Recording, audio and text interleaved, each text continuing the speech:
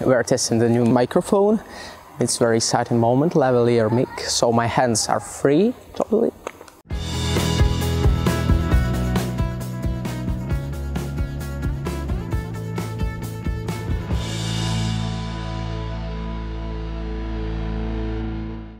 Welcome to the new episode of Ask Gleb podcast. This is episode number six, and I'm Gleb Alexandrov. You ask your questions, and I will answer them.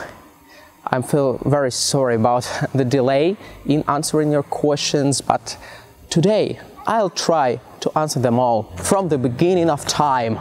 I will start with a question by Skycrafting. Skycrafting asks, are you going to make video tutorials for Blender game engine, shading and lighting and other cool stuff? I have a gamer DNA because when I was 14, I was obsessed by gaming. I just spent all the time playing, uh, playing StarCraft and Warcraft, and I was a fan of Blizzard games, but all sorts of other stuff as well. For example, I was a huge fan of Doom, obviously, because when I first saw this 2.5D shooter, I immediately know that I want to make something like that. I want to make computer graphics for the rest of my life. That's what I love doing. So you can expect me to make video tutorials for, for game engines.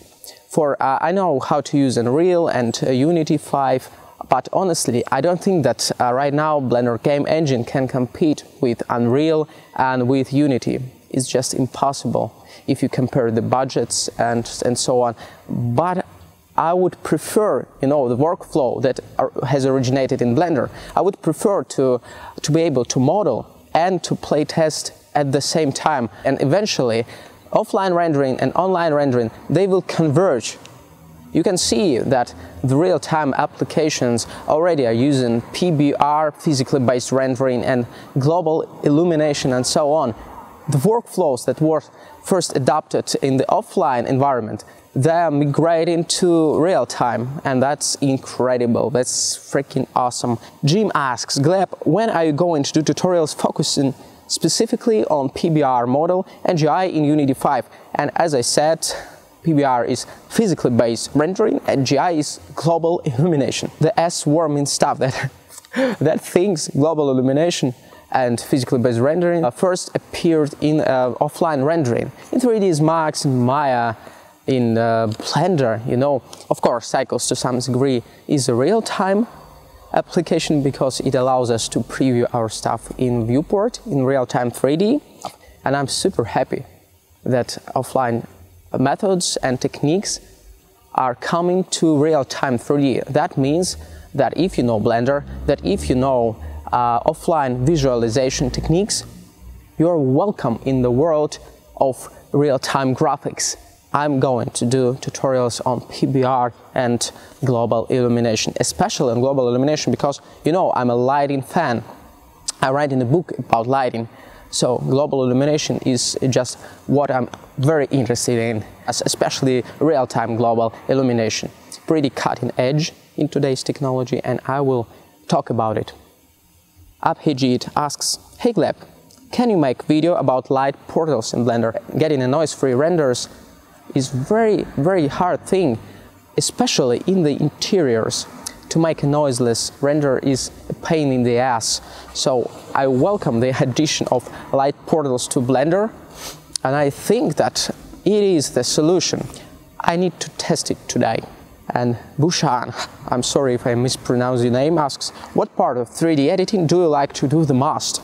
I like to stare at the render buckets on the screen when I have already made all the models and all the textures and I like to visualize. Yep, and I like to set up the lighting. Abhijit asks, what do you do when the system is rendering? What's your favorite hobby? And you can see that all the questions are linked somehow.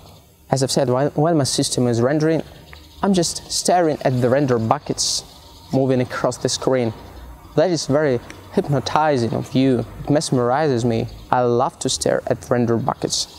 I'm just kidding. Drink some coffee.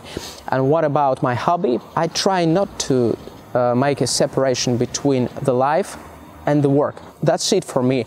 I, I don't have a hobby because everything that I do it somehow converges into the point we're shooting now this Q&A session and that is not my hobby. That is my life. I love communicating with you. That is what i am. That is my life. So i don't have a hobby. Not a single one. But maybe coffee drinking and playing in the rock bands. Micah asks crazy idea. Any chance you'll release the cutouts of you in funny outfits for other people to use in their work. Micah, thanks, thanks so much. When I made this trains render, I first positioned low poly 3D models of people. Later on, I replaced them in composite with uh, the cutouts of me in various outfits. You know, it was very funny process. You know, first you do uh, 3D models, low poly stuff from blend swap, free models, and then you replace it with your photos made with correct perspective and scale. That is nice, nice, nice one. I think that's all right. My microphone. I'm just afraid that my microphone will get broken as in previous podcast. I would need to use gestures. Mohan asks, I'm unable to find our podcast on iTunes with the name Ask Gleb. What should I search for? I contacted the support of iTunes and somehow we have managed to bring it back to the search, you can use Ask Gleb in the search of iTunes and find it like no problem. Massimo asks, what considerations should I take into account when I choose a texture for my model size? Tiling, definition, near far camera. Uh, you, you already named the most important things. the, the size of the model in the scene, the distance from the camera. Uh, please consider the actual size of the model on the screen. The actual size is the size of the model in the scene plus or minus the distance from the camera. For example, if we compare it to lighting, how do we know how big or how small the light is? We take the size of the light, the physical size, you know, and we take the distance into account. For example, the sun is pretty big star, it is very distant one. So for us, for us the sun becomes a very, very small thing, you know, and we have a sharp shadows because of it. And it's very big, but it's distant. When you pick the texture, consider these two things, the size of the model and the distance from the camera. One tip related to texturing.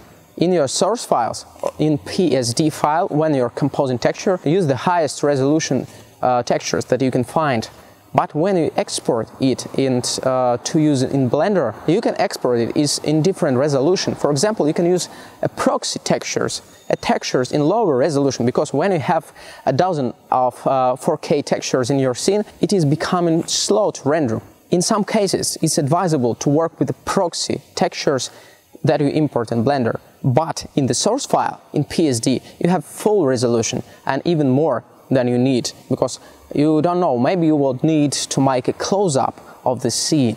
Bogdan asks, how I can quickly switch to Blender if I already know 3ds Max, Maya, ZBrush, and so on. and mate, you will have no problem switching to Blender if you already know 3ds Max and ZBrush. You just know everything. I, I don't know, 3ds Max and ZBrush are the foundations of what you need to know about the interfaces in uh, 3D modeling creation suits. So we won't have a problem migrating to Blender. Just try it out. But maybe you would have a problem with a right-click selection. And Jeremy Baker asks, when you were first getting started, how much did you learn from tutorials and how much did you learn from doing things? That's a great question. I tried to absorb every bit of knowledge. When I tried to learn After Effects, I watched pretty much every tutorial produced by Andrew Kramer from Video Copilot. And when I was learning Blender, I watched Andrew Price's tutorials, but don't get stuck in tutorial zone because when you're just watching tutorials without practicing, you will get stuck in tutorial zone and that is no fun. Uh, learn by practice too. Do things. Classy Dog asks, do work in Blender CG every day? Or do you feel it is important to set aside days when you leave work alone? And yes, it's very important to set aside days when you do nothing. And it's very easy to say this because I love to procrastinate, you know. Today I was playing Kingdom Rush, the tower defense game, and half a day, and I'm planning to devote a few more hours to that spider attack because I just can't figure out how to how to solve the level number 8. I try to erase the separation between life and work. If you love what you're doing, that's okay to spend 18 hours a day and still be a happy person and still not get very tired of it. Silas asks, when did you start to do all this stuff? You know, I started smoking when I was 17 and I quit when I was 22. And I still sometimes want to smoke. And if you mean computer graphics, I started producing teapots of first first signs of my future obsession with computer graphics when I was 14. I installed 3ds Max version 5 and I tried to make a pyramid. Later on, I managed to make a teapot. The microphone still works. David Maxwin asks, your blog and tutorials have a nice graphic design aesthetic. How long did it take to develop and are there styles you aim for? I like how thumbnails look on Smart Passive Income blog by Pat Flynn. He incorporates uh, the title of the article in the thumbnail. I think that works pretty well. And also I think that uh, the text in the image can boost the conversion. It's clickbaiting technique, you know. It's all about clicks. I don't care at all, I just love how it looks. And Nereus Uranus. I wonder, where can I ask questions or making conversation with you? Feel free to, absolutely to contact me either on the site or on Facebook, everywhere we live in transmedia world and every person is transmedia. We speak, we talk to each other across the different platforms and genres. Feel free to ask your questions using Ask Gleb hashtag. That was Gleb Alexandrov for creativeshrimp.com. And thank you so much for your questions. Take care and we'll change the world of computer graphics together if I just won't die of drinking too much coffee today. Бу-бу-бу.